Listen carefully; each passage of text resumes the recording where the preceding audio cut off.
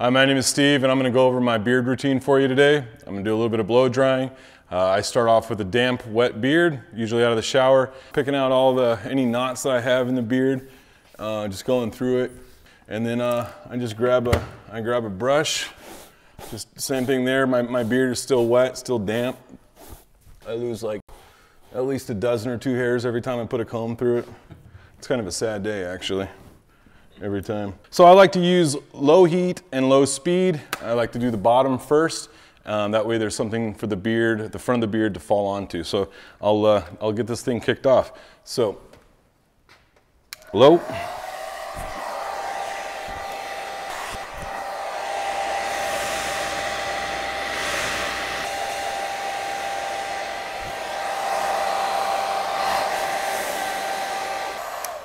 So with my beard, I've got a lot of um, the wings right here.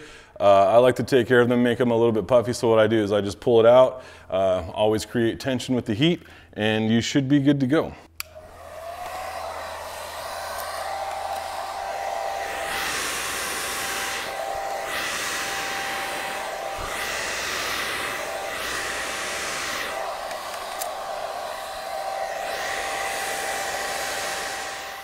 For me, I get this little dent in here that I, I, try to get out. So again, with tension and heat, you just take it, pull it out with the, with the tension and the heat.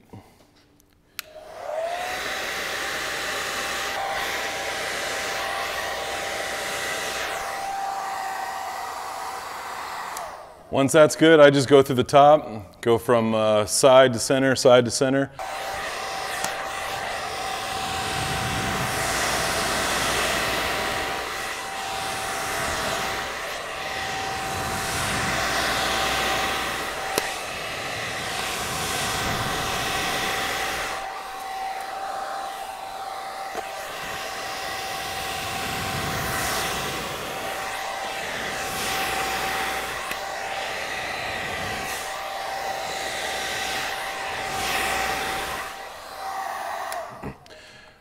That's the blow dryer. I'll use it again here in a second, but uh, now it's time for the good stuff. So my beard's a little thick, a little dense, so I get my, I'm using the, uh, the gunslinger today.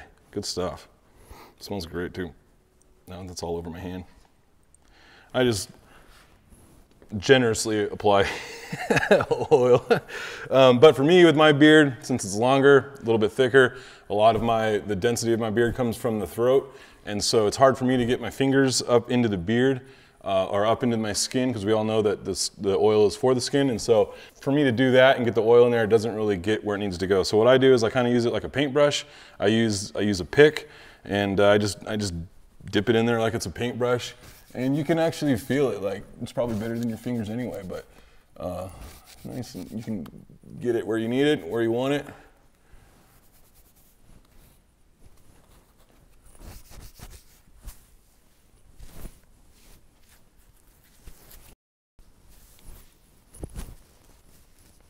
So after the oil, put the butter in. Not much, just a little bit will do, but.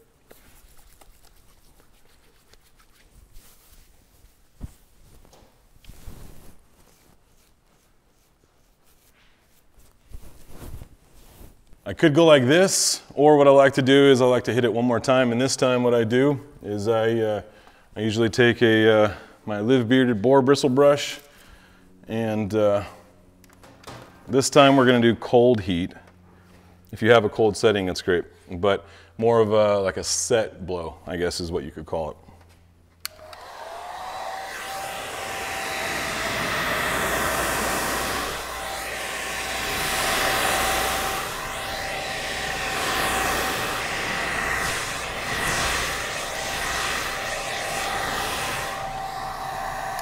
After that, I just brush it through, make it look how I want it for the rest of the day, and I'm good.